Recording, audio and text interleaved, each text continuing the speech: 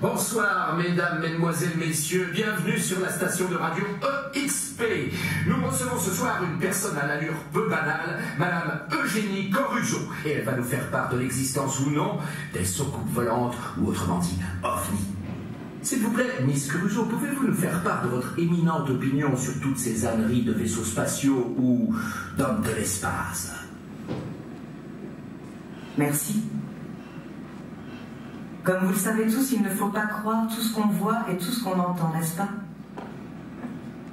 Maintenant, Si vous voulez bien m'excuser, je dois vous laisser. euh, mais- Je